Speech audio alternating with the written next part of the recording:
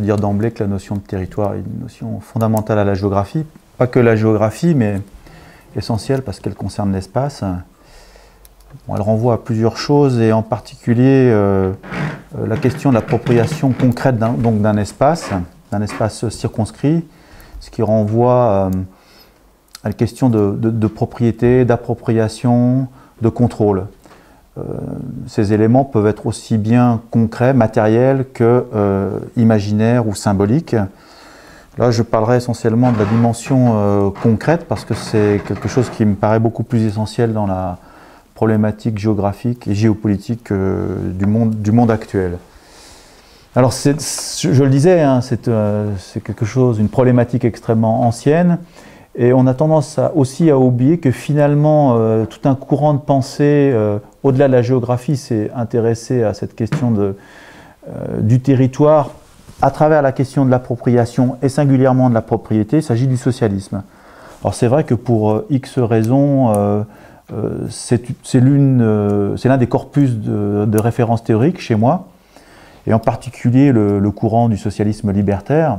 je pense notamment à Proudhon, ou à Élisée Reclus, hein, qui était un géographe, dans la mesure où ce courant euh, fait une relation très précise entre euh, le, contrôle politique et le contrôle des individus qui sont euh, sur cet espace-là, et notamment la question du mode de représentation, du mode de fonctionnement, toute la question, je dirais, globale du socialisme en général. Au-delà de... Alors bien sûr, on n'est pas forcément euh, d'accord sur tout, il y a beaucoup, euh, mais je pense qu'il y a beaucoup à creuser ou encore à recreuser, même si euh, les expériences de l'Union soviétique ou de la Chine peuvent interpeller et interroger, bon, notamment le, en fait, la, propriété euh, collective dans ces pays-là était en réalité une propriété étatique qui, en réalité, est une propriété des membres du parti et d'une petite classe, sinon d'une clique au, sein du parti, donc de la nomenclatura. On a d'ailleurs bien vu, euh, notamment dans l'effondrement de l'Union soviétique, euh, combien ceux qui étaient, soi-disant, représentants de la société ou de la collectivité, ensuite ont détourné finalement euh, cette propriété collective à euh, des fins euh, privées, repassage à la propriété privée. En tout état de cause, le régime de propriété ne pouvait pas définir la nature de ces pays-là. En tous les cas, je dirais, non pas en théorie, mais de façon réelle, pratique.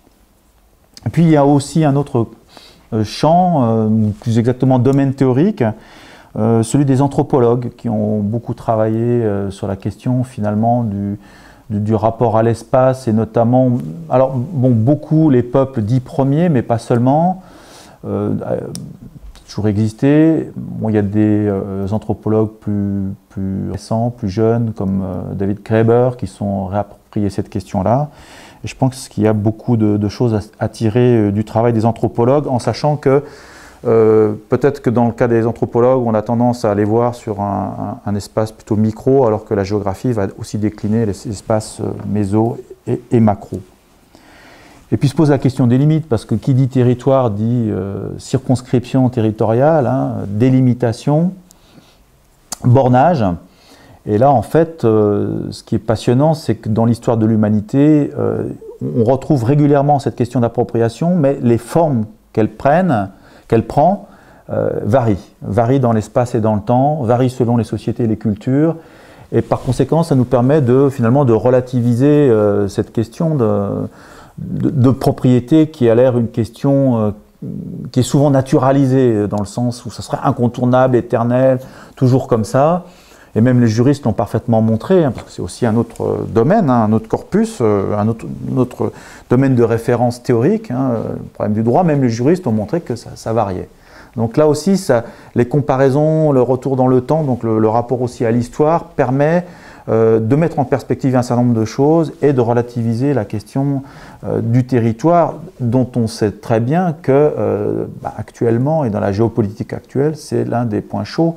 Hein. bien souvent, les tensions, les conflits, les guerres tourne autour de cette question du territoire, que ce soit le territoire terrestre ou le territoire marin, qu'on appelle aussi méritoire, euh, évidemment. Alors les limites, euh, évidemment, la question des limites, des frontières, euh, m'a amené personnellement aussi à beaucoup euh, m'intéresser aux, travaux sur la frontière, les frontières, notamment les travaux de Michel Fouché, toute la production de, la revue Hérodote, tous ceux qui y contribuent, qui me paraît fondamental, dans la mesure où c'est l'un de mes dadas que je répète souvent aux étudiants, il faut distinguer ce qui est limite de ce qui est frontière. Hein. Euh, la frontière s'appuie sur des, limites euh, ou des éléments naturels, mais pas forcément, pas systématiquement.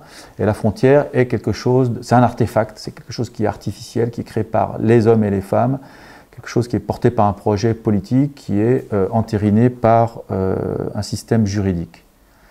Alors cela, j'ai pu le constater avec force sur mon principal terrain, qui est le Japon, et singulièrement les îles japonaises.